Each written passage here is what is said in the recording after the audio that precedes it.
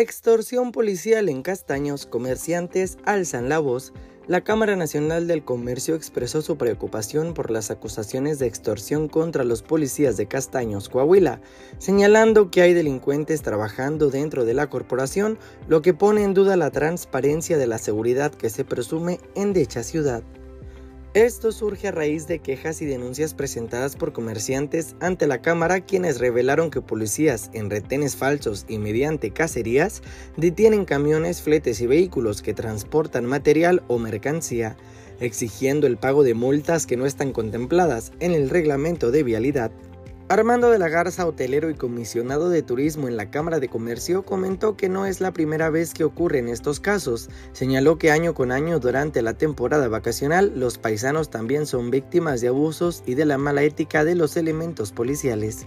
Mucha gente que tiene negocio en Monclova y que está yendo a Castaños a, dejar mercancía, estos hombres este, no le han bajado la guardia, siguen estando eh, atacando fuertemente al transporte ya no se diga los que vienen foráneos, ¿no? los que vienen a dejar mercancía a Moncloa, que tienen de repente la mala suerte de pasar por Castaños, sino también a, varios de aquí de, de, Moncloa. Ahí tengo yo algunas dos o tres este, infracciones que me han mandado.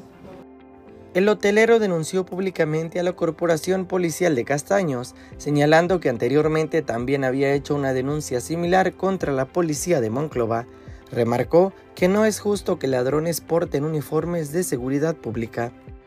De la Garza agregó que aún no ha tenido la oportunidad de reunirse con el alcalde de Castaños para presentarle las quejas recibidas en su oficina, con el fin de que se preste mayor atención a la actuación de los elementos policiales y que los comerciantes y transportistas puedan transitar por Castaños en paz.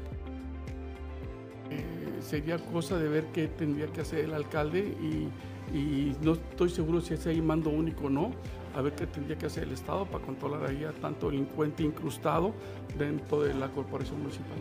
Así, con esas palabras, no lo puedes decir. Alguien que se la robar es un delincuente. No porque tenga un uniforme, tenga una placa, una patrulla es policía. Para, para, para poder considerar una policía, tiene que tener don de servicio y don de servicio a la ciudadanía. Con imagen e información desde Monclova, Coahuila para Tiempo.tv, José Cortés.